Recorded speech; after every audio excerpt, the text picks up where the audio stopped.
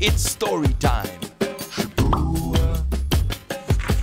Ngiyathanda ukuhlala. Igama lami nginguThabo. Ngiyathanda ukuhlala.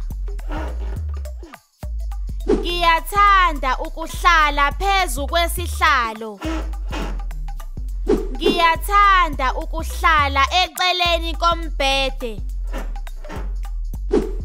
Ngiyathanda ukuhlala ngaphansi kwetafula. Ngiyathanda ukuhlala.